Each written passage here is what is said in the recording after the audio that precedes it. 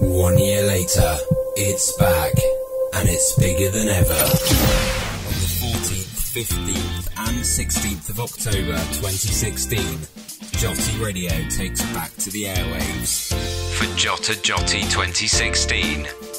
Join all your favourite presenters for the best chat and music on the station perfect to complement your JOTA JOTI weekend. Find out more and tune in at jotiradio.org or on the apps for mobile and tablet devices.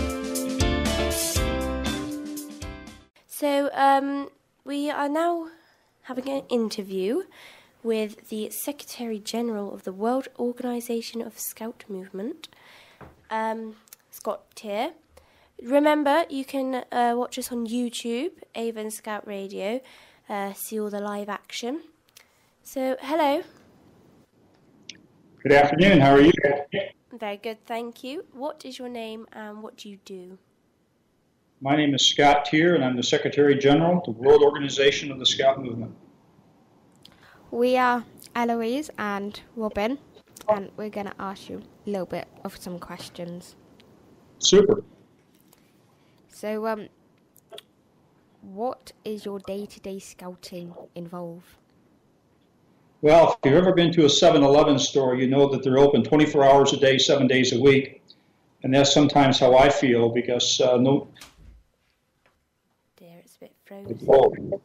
So I'm uh, I'm sort of plugged in and ready to go uh, seven days a week, 24 hours a day. I've told people they can they can call me at two o'clock in the morning if they want to, and uh, and I'll answer the phone and uh, and certainly try to be helpful. So my day-to-day scouting activity is uh, just around the clock, and I would not have it any other way. Oh, that's great. Uh, so, how long have you been involved in scouting and uh, why did you join? Well, you know, that's that's always everybody's always asking that question because they're trying to figure out how old I am.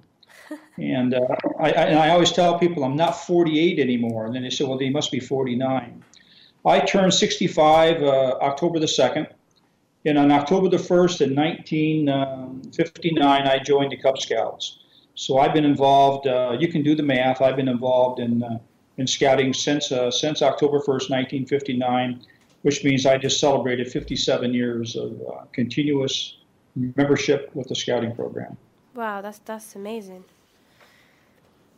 So, um, what would you say has been your favorite scouting experience? My favorite scouting experience. Well, first of all, you need to understand that I, I grew up in the United States, and in the northern part of the United States. So when winter came, it was very cold and there was a lot of snow. And we're talking snow uh, waist deep or more. So I think my favorite scouting experience was the first time that we went winter camping, where we actually uh, dug a, a, hole in the in the deep snow to put our tents down under, and uh, and spent the weekend in our tents uh, camping out in very very cold weather, uh, and it snowed every night. But you know when you when you lower yourself below the snow like that, you know, the winds block and when you go to sleep at night, it's really very, very comfortable. But by far, my friends and I were excited about that camp out. I think I was 12 years old at the time. And uh, that still remains uh, probably the best experience. But I'm going to tell you about the second best experience, and that was a canoe trip, a weekend canoe trip that the older scouts of my troop took, and it was a father and son canoe trip. So that meant my dad and I uh, were in a canoe together with all of our gear in the middle, and uh, and we spent uh, a weekend canoeing down a river in Michigan called the Sable River, camping overnight with with my scout friends and their dads, uh, and that still uh, remains as a as a very fond memory. So those are the two things that I remember most from my scouting days. Um, we hear you retiring soon. What are your plans, and do you think you'll still stay involved in scouting? Nasty you. That means you know I'm 65 now. So no one knows. So when I say I'm no longer 48, that means yeah, I'm 65. It's retirement age, and uh, my this is actually the last uh, official scouting activity I'll do. Uh, this interview here today. Uh, uh, my last day in the office will be October the 31st, but uh, I have no other scouting activities planned except for finishing up some paperwork here at the office and checking out. After retirement, I'm going to move back to my home in Texas.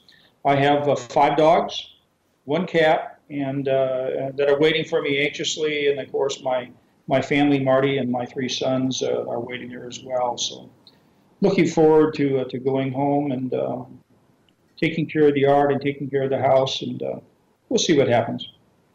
That sounds lovely.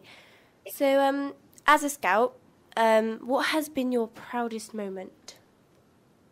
What would uh, the highest rank you can earn in scouting in the United States is called the Eagle Scout Badge, and uh, I did earn that earn that award. And I guess the proudest moment was uh, the night that I was awarded the Eagle Scout Award, and my mother pinned it on my uniform. And uh, I remember the, uh, the, the smiles and looks on their faces when they um, when they pinned it on my shirt. It was proud for them and proud for me. That's nice. So, um, there are a lot of people that are thinking about joining Scouts and don't know. What would you say to them? If they don't know if they want to join the Scouts, um, the, the friends that I have kept my entire life, and now keep in mind I joined the Scouts a long time ago, the friends that I've kept my entire life are the friends that I made in Scouts. I don't know where uh, any of my classmates are from high school. We've all lost touch with one another. But all the young people uh, that were my age in the scout troop and uh, involved in scouting in my hometown, uh, we all keep in touch. We know where everyone is. So you're going to make new friends, and they'll be the friends that you'll keep for a lifetime. So join join the scouts and make make new friends, make the right kind of friends, because you'll all share the common values found in our oath: duty to God and country, duty to others, and duty to self. Brilliant. Thank you for coming on.